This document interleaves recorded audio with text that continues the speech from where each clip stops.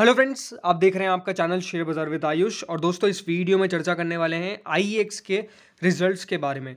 दोस्तों आई के first quarter के नंबर्स निकल के आ चुके हैं। कंपनी के नतीजों को इस वीडियो में हम डिटेल एनालिसिस करेंगे बिकॉज़ आई एक ऐसा स्टॉक रहता हुआ देखने को मिला है, जहाँ पर आपने काफ़ी गिरावट देखी है। तो इस बार के नंबर्स किस प्रकार के निकल के आए हैं, उसके ऊपर इस वीडियो में डिटेल चर्चा करेंगे। दूसरी बात क्या है कि कंपनी के द्वारा डिविडेंड की भी घोषणा की गई है तो कितना डिविडेंड यहाँ पर मिलता हुआ देखने को मिलने वाला है, वो भी आपको बताऊँगा।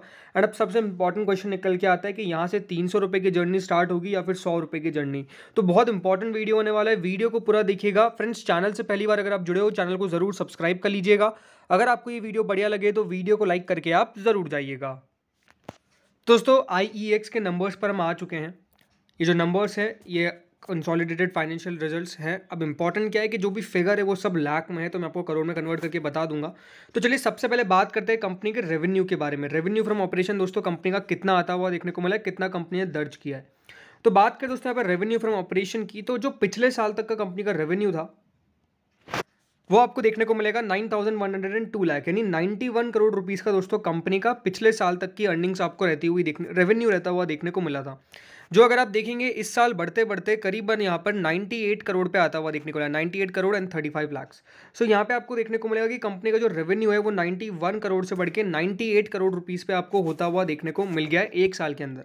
लेकिन अगर क्वार्टर ऑन क्वार्टर बात करें तो जो 112 करोड़ का रेवेन्यू कंपनी ने पोस्ट किया था, वो 98 करोड़ पर ही आपको आता हुआ देखने को मिल गया तो परफॉर्मेंस तो डेफिनेटली आपको देखने को मिलेगा in front of revenue quarter on quarter तो यहाँ पर डिक्लाइन ही आपको आता हुआ देखने को मिला है बट वाई वाई आपको देखने को मिलेगा। तो कंपनी का जो रेवेन्यू है, उसमें बढ़ोतरी होती हुई देखने को मिली है।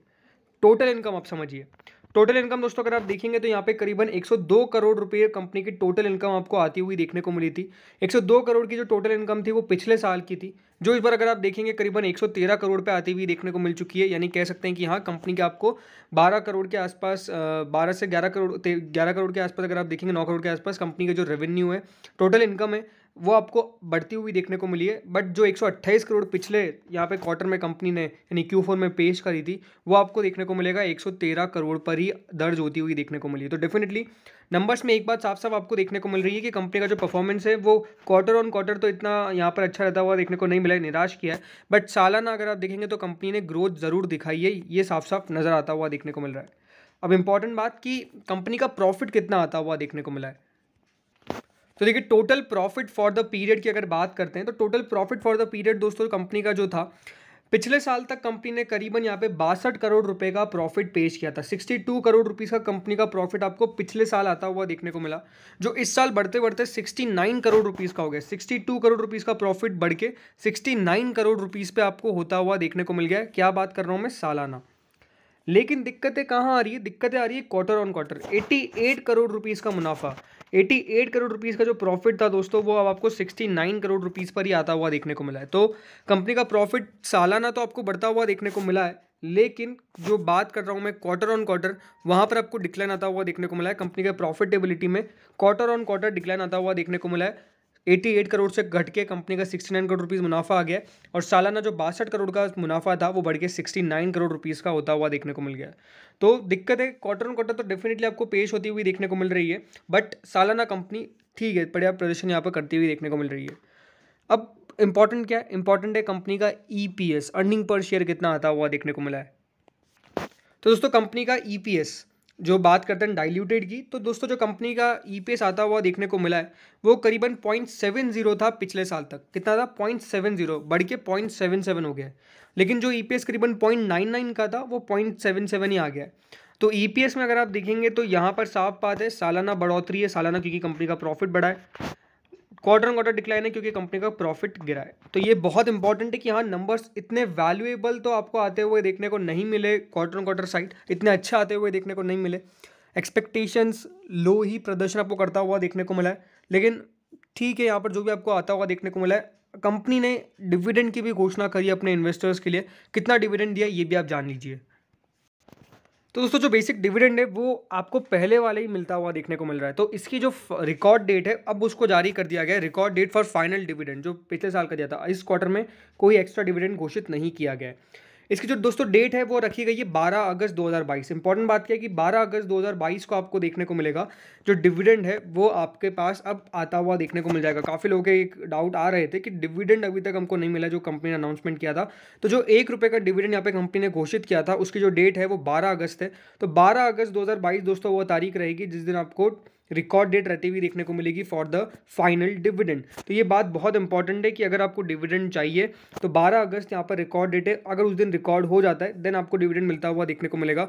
बट अब इंपॉर्टेंट क्वेश्चन निकल के आता है कि कंपनी इतना बढ़िया नहीं कर पा रही है तो इसके पीछे की वजह क्या है? और अब शेयर मंडे को किस चाल चलता हुआ देखने को मिलेगा, ये बेहद जानना ज़रूरी है। तो चलिए इसके ऊपर बात करते हैं। सो फ्रेंड्स आई का शेयर लास्ट एक महीने में करीबन दस परसेंट गिरा है। लास्ट फाइव डेज़ में चार परसेंट गिरा है छः महीने में इकतीस परसेंट गिरा है और साल की शुरुआत से करीबन शेयर ने यहाँ पे thirty eight point six five percent की फॉल दिखा दी है।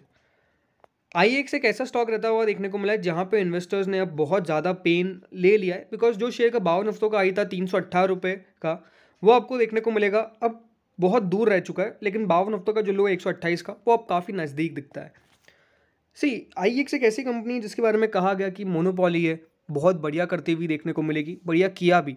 इन टर्म्स ऑफ़ अगर आप ओवरऑल रिटर्न देखेंगे तो करीबन 203 परसेंट के रिटर्न्स देखे गई है। एक अभी मैक्स रिटर्न्स अगर आप देखेंगे कब से मिले तो 2017 में ये लिस्ट हुई थी। उसके बाद यहाँ पर अगर आप देखेंगे तो शेयर के अंदर बहुत शानदार तेज़ी आई।